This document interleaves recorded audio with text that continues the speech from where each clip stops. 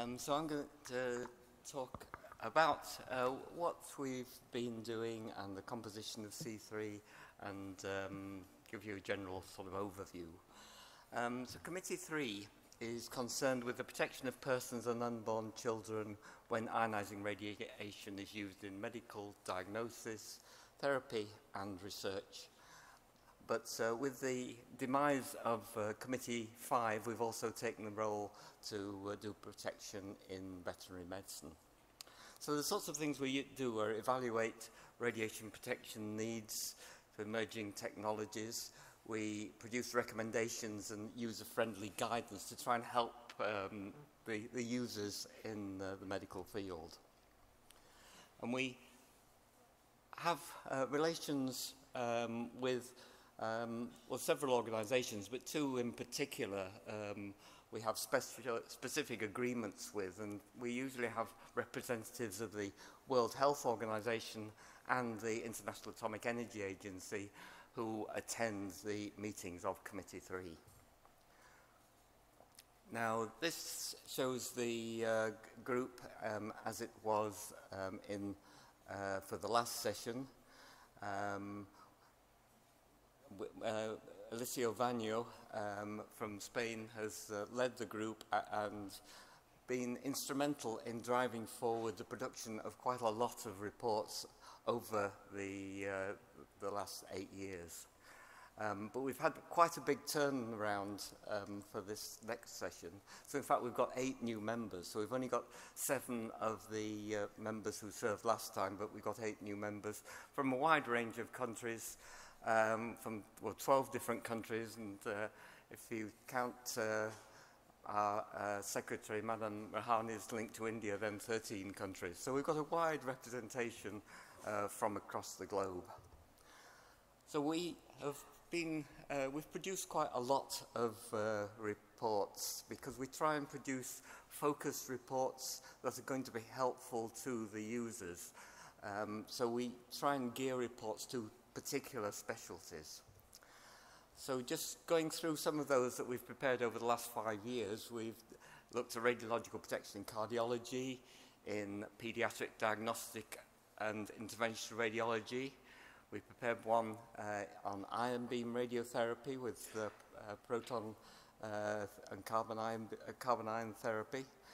Um, we've prepared ones on the radiation dose to patients from radiopharmaceuticals. These are sort of ongoing uh, ones where we get, gather information with Committee 2 or produced by Committee 2 um, to uh, assist in ass assessments of doses. And then we produced one on uh, radiation protection in cone beam computed tomography, a, a new technique which is getting more and more widely used.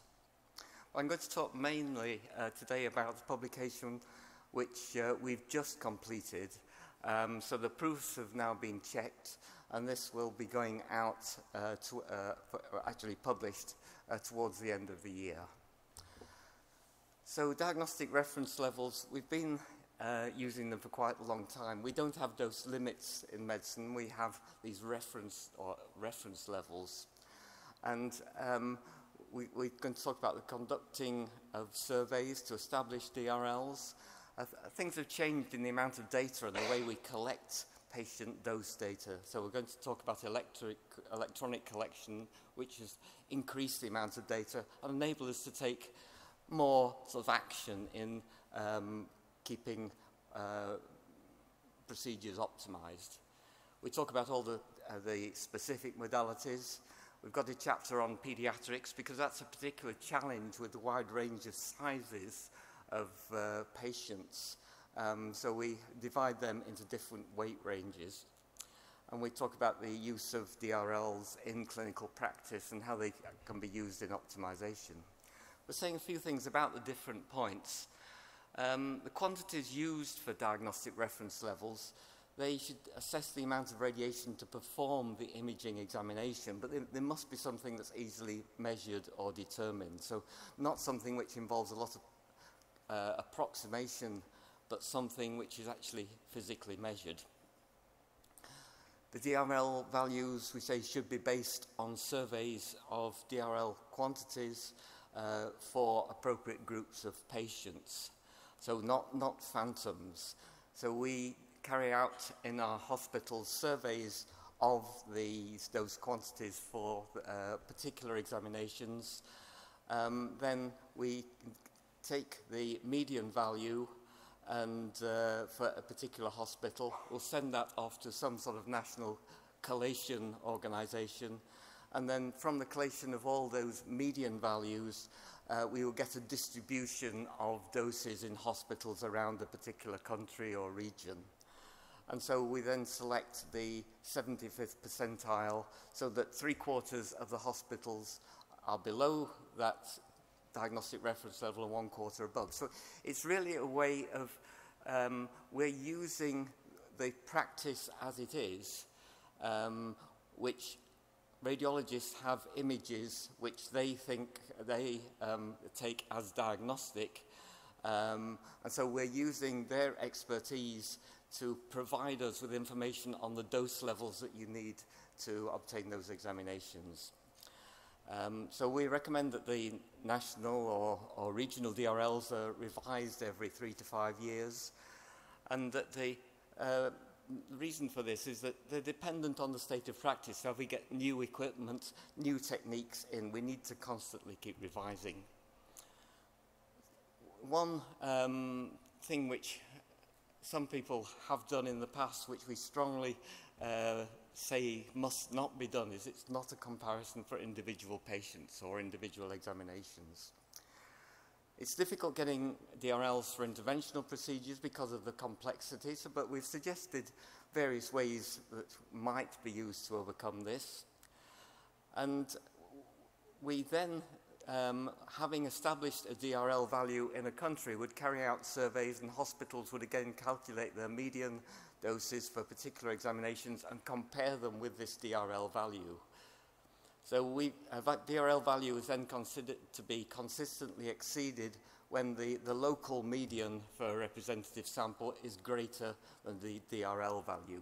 So we've just taken the simple case that consistently means in the majority of cases.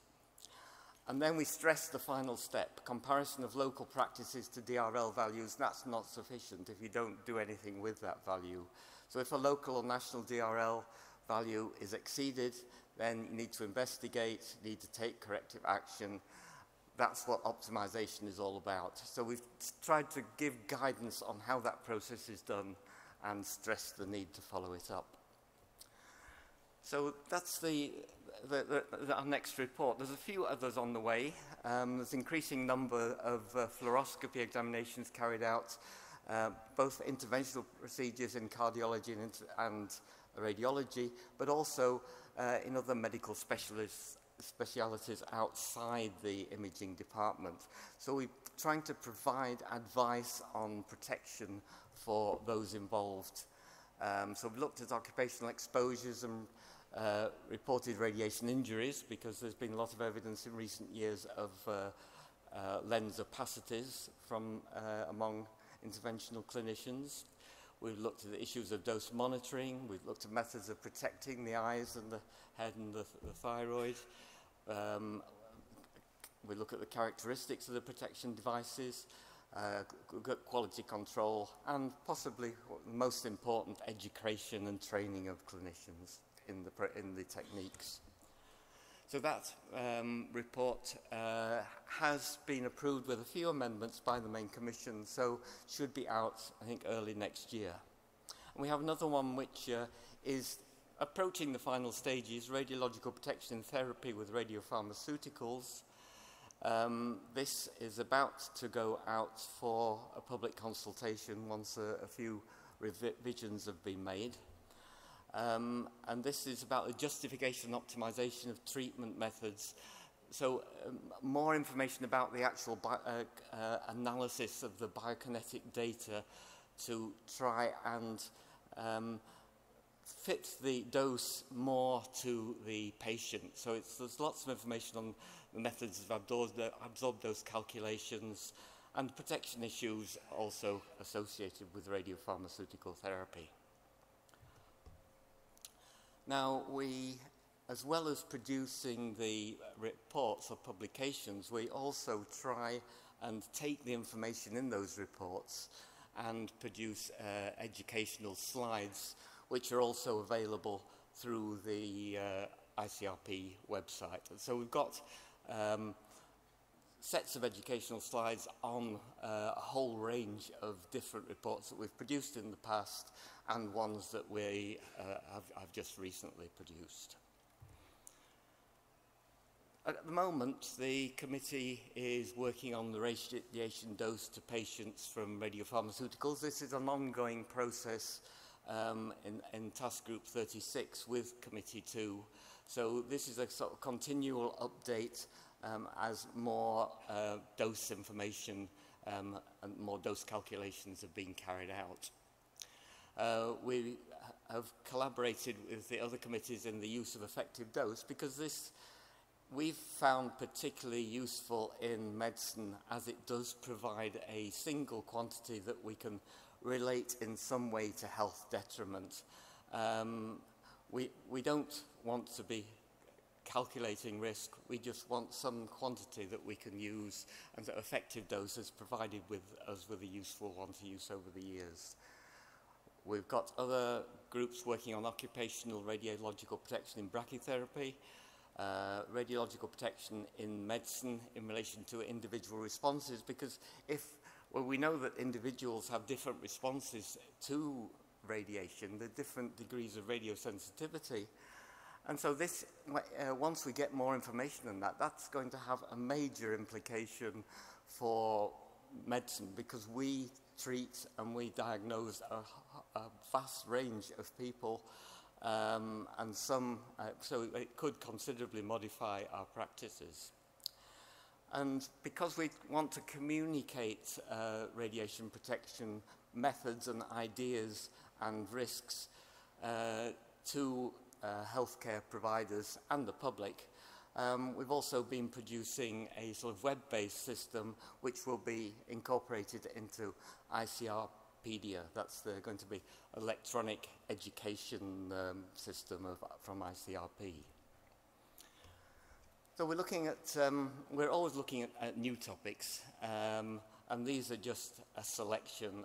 So we're looking at a possible framework for optimization, in medical imaging, gearing uh, the optimization process to the individual patient. We're looking at radiological protection aspects of, of daily imaging and radiotherapy. Um, we're considering further whether we need to do anything else relating to protection of the eye lens and the cardiovascular system. Um, we've uh, been discussing overexposures and unintended exposures in diagnostic and interventional procedures. And um, I've been collaborating um, on, through an IAEA technical meeting. And so we've been collaborating with the IAEA and actually produced uh, guidance in the form of a paper in Journal of Radiological Protection, which uh, um, in fact has just been published on the internet. Um, we're looking at uh, other things which we, we need to consider. We're not going to necessarily prepare reports, but not at, at this stage, but the use of ionizing radiation for assessment of body composition linked to sporting uh, performance. So that's nothing related to uh, medical diagnosis, but it is an application, and it's one that uh, in certain countries um, is being used quite extensively, and in others um, it's uh, prohibited. And in the UK, we've just been producing guidance um, uh, a, about a recommended approach to that. We looked at improving patient dosimetry and protection in high dose procedures, uh, particularly interventional CT. Um, and we will also be collaborating with other committees, uh, C4 in particular, in radiation protection in veterinary medicine, and there are other topics relating to optimization that uh, we are quite interested in and we want to follow up further. So ICRP uh, Committee 3, we're ready um, to work on topics um, that the medical and other scientific uh, societies and communities want. So if you have any topics that uh, uh, you think that we ought to consider, then you can um, pass them on to Kimberly and myself, and then we'll see whether we want to take them forward. So we want to collaborate with other international and national organisations in development of guidance, and we welcome any suggestions of other areas. Um, and I think that's all I want to say, so thank you very much.